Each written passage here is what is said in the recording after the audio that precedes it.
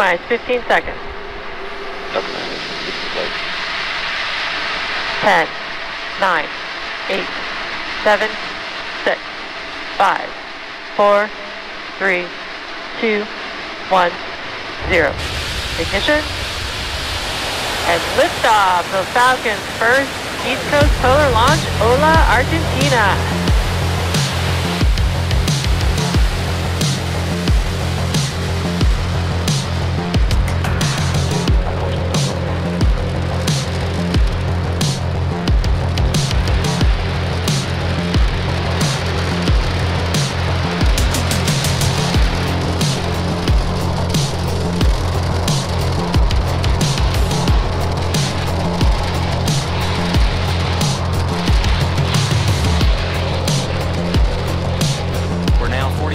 The flight. Falcon 9 has taken off. It's cleared the tower, and we're currently throttling down to prepare for maximum Q. Uh, that's the point of maximum aerodynamic pressure. It's at 1 minute 12 seconds.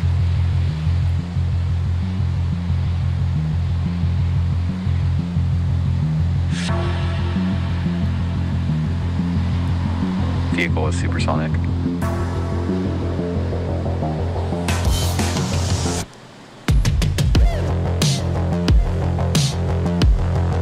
Has reached maximum aerodynamic pressure. You've heard it. We've reached uh, max Q.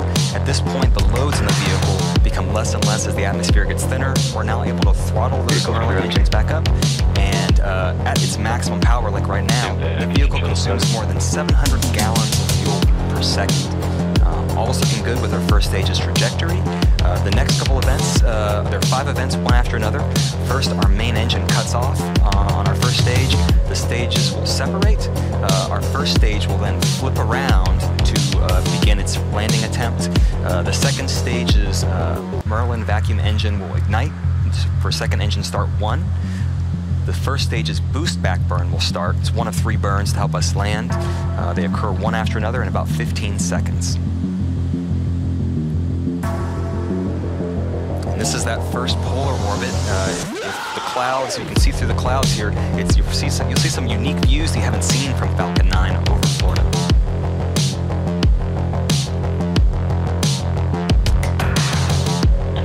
And we have MECO. Stage separation confirmed.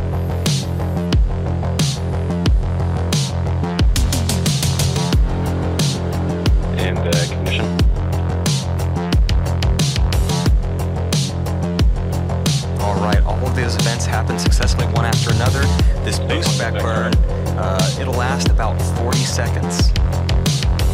So you see it on the left-hand side of the screen. On the right-hand side, you will see our uh, second stage uh, carrying those three uh, satellites to orbit. And coming up next in about 20 seconds, uh, that boost burn, boost back burn will end, and then we'll have our fairing deployment.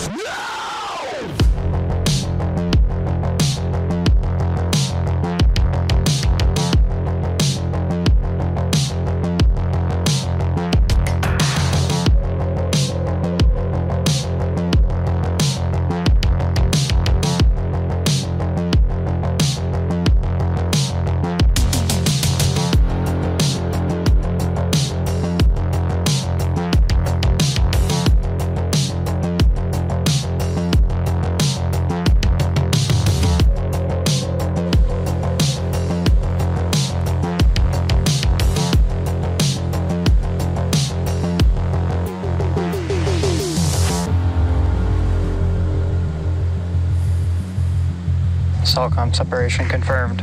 Right, you've seen it, we heard it. Uh, successful deployment of that SAOCOM 1B satellite. And as a reminder, this satellite and SAOCOM 1A satellite's goal is to gather soil moisture.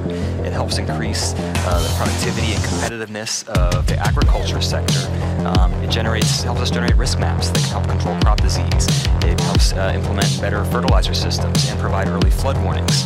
Uh, these two SAOCOM satellites work together with Italy's Cosmos SkyMed constellation, uh, and they work together by providing up to 225 Earth images per day But we still do have two satellites left to deploy. Uh, we're going to go into another coast phase. This one will last about 45 minutes. We're going to take a break, but we're leaving you with an animation that shows where we are in that coast phase. We'll be back at about T plus one hour for the deployment of the Tyvak 0172 and GNOMES 1 rideshare satellites. We'll see you then.